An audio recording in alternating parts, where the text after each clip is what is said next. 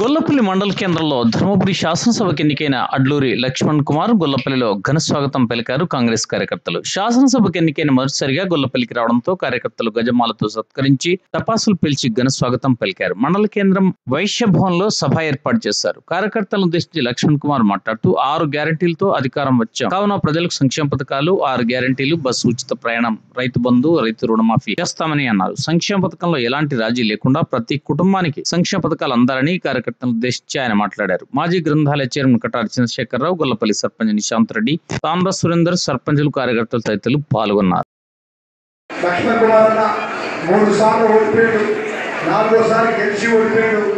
Congress party పక్షాన మన రాష్ట్ర ముఖ్యమంత్రి రేవంత్ రెడ్డి గారు చెప్పిన ఆరు గ్యారెంటీ పథకాలు గడప గడపకు తీసుకుపోయే విధంగా మనమందరం కూడా ప్రచారంలో ప్రతి ఇంటిని ప్రతి గడపను మనం వెళ్ళి చెప్పినాం ఈరోజు ఇంత పెద్ద ఎత్తున నన్ను స్వాగతం పలికినటువంటి ఈ గొల్లపల్లి గ్రామానికి సంబంధించినటువంటి అన్ని గ్రామ ప్రజలకు మా చెల్లెలకు అక్కలకు మా తల్లులకు మా కాంగ్రెస్ పార్టీ కుటుంబ సభ్యులకు పెద్దలందరూ కూడా.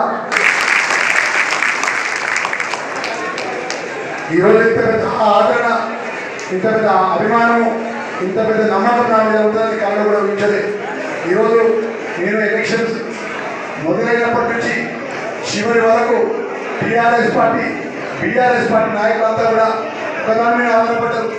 ఏ విధంగా డబ్బులు మార్చాలి ఏ విధంగా మద్యం మార్చాలి ఏ విధంగా కాంగ్రెస్ పార్టీ ఏ విధంగా వాళ్ళను ఇబ్బంది పెట్టే కార్యక్రమం చేపట్టాలి ఇబ్బంది పెట్టి ఇకపోతే పైసలు పెట్టి ఏ విధంగా ఆ నాయకులు మన వైపు తిప్పుకోవాలనే ఆలోచనతో మరి గత పదిహేను సంవత్సరాల నుంచి ఈ ప్రాంతంలో ఎమ్మెల్యేగా విప్పుగా మంత్రిగా ఉన్నటువంటి ఈశ్వరు ఆయన అనుచరులంతా కూడా ఒక దురాలోచనతో మరి ఏ విధంగా కాంగ్రెస్ పార్టీ అభ్యర్థిని కాంగ్రెస్ పార్టీ నాయకత్వాన్ని గ్రామ గ్రామాన్ని ఇబ్బంది పెట్టే కార్యక్రమం చేపట్టాలని చెప్పేసి ఆలోచన చేసి అదేవిధంగా మా మా మా యొక్క అంటే నా కాంగ్రెస్ పార్టీ కుటుంబ సభ్యులు కాంగ్రెస్ పార్టీ ఒక అయితే మా దళిత వాళ్ళు మా తమ్ముడు ఎవరైతే మా తమ్ముడు రమేష్ కానీ గంగాధర్ కానీ దిలీప్ కానీ విక్రమ్ అన్నాడు కానీ ఇక అందరూ కూడా పేరు పేరున చాలా మంది ఉన్నారు. మా రాజ్కుమార్ గారు ఇంకా చాలా మంది మా దళిత మిత్రులు మా స్నేహం రాస్తున్నారు.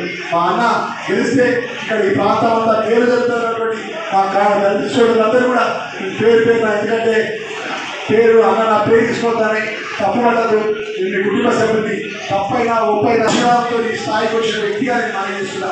మా ఇక్కడ వేదిక మీద ప్రజలందరూ కూడా మనం చేసుకుంటున్నా మరి ఈరోజు పదిహేను సంవత్సరాలకి టీఆర్ఎస్ పార్టీ నాయకత్వాన్ని కాదని వారు చేసిన అరాచకాలు కానీ వారు ప్రజలకు ఇచ్చిన మాట అమలు చేయకపోవడం వల్ల ఈరోజు మనం కాంగ్రెస్ పార్టీ పక్షాన రాష్ట్ర ముఖ్యమంత్రి రేవంత్ రెడ్డి గారి నమ్మకంతో పెద్దలు అఖిల భారత కాంగ్రెస్ పార్టీ సోనియామాతని చెప్పిన ఆరు గ్యారంటీ పథకాల మీద నమ్మకంతో ప్రజలు మనం ఆశీర్వదించి మూడు సార్లు అన్న ఓడిపోయాడు.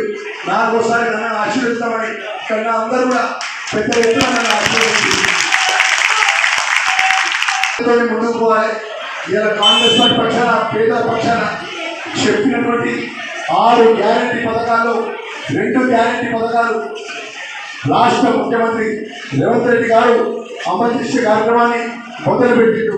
మొదటి కార్యక్రమం ఏదైతున్నదో ఈ భారతదేశంలో కానీ ప్రపంచంలో కానీ మా మహిళలు సలహా ఉంటే ఇల్లు సలహా ఉంటుంది ఇల్లు సలహా ఉంటే అందరు సలహా ఉంటుందని చెప్పి మా మహిళా సోదరు వాళ్ళందరూ కూడా ఉచితంగా ఈ తెలంగాణ రాష్ట్రంలో ఎక్కడికి వెళ్ళినా కూడా ఉచిత బస్సు కానీ రేవంత్ రెడ్డి గారు కాంగ్రెస్ పార్టీ సోనియా గాంధీ గారి నేతృత్వంలో అమలు చేయడం కార్యక్రమం జరిగింది.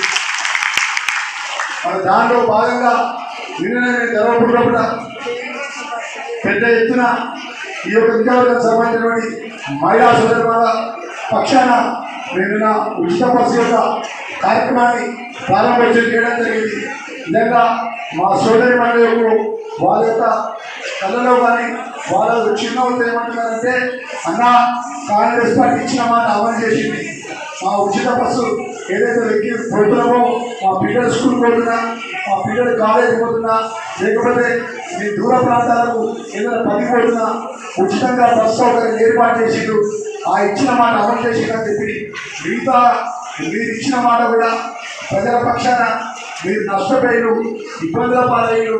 మిమ్మల్ని ఆదుకోవాలని అండగా ఉన్నామన్నా మీరు కూడా మా ప్రతి కుటుంబాన్ని ఆదుకోవాలని చెప్పి మా చెల్లెలు అక్కలు నిన్న నేను జరిగిన ధర్మపురం మీటింగ్లో కూడా ఒక సొంత కుటుంబ సభ్యులాగా నాకు వాళ్ళు వచ్చి అభినందనలు తెలియజేసుకుంటే నిజంగా ఆంజనేయ స్వామి దండం పెట్టుకుని వచ్చి వచ్చి మాట్లాడుతున్నా.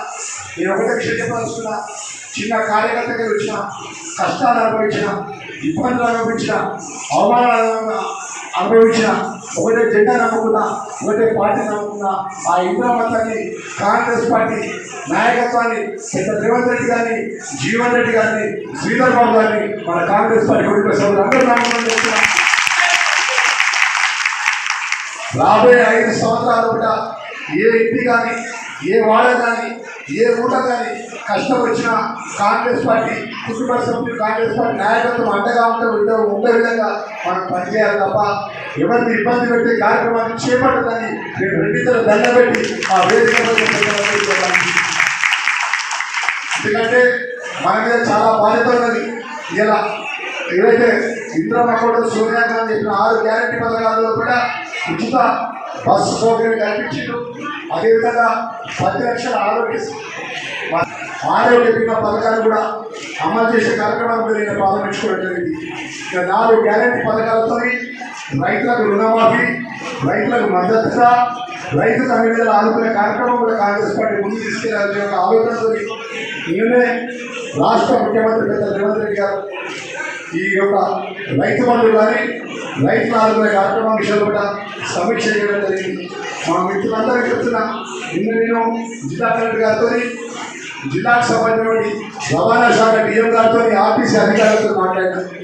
మీరు ఉచిత బస్సు వేసి ఎక్కడైతే ఏ గ్రామాల్లో కూడా ఆరు మండలాలు నూట ఇరవై తొమ్మిది గ్రామాలు మొన్నటి వరకు మంత్రి ప్రాతినిధ్యం చేసినటువంటి ఈ నియోజకవర్గంలో కూడా కొన్ని కొన్ని గ్రామాల్లో బస్సులు లేవని చెప్తున్నారు. మన గంగాపురం మన ఎన్నికల్లో భాగంగా బస్సు గంగాపురం గ్రామ ప్రజలను ఎన్నికల్లో భాగంగా చెప్తే పది రోజుల్లో కూడా పెద్ద జీవన్ రెడ్డి గారు కానీ నా దృష్టికి తీసుకెళ్తే పది రోజుల్లో కూడా బస్సు తీసుకెళ్ళి ఆ గ్రామానికి నేను బస్సు సౌకర్యం కల్పించడం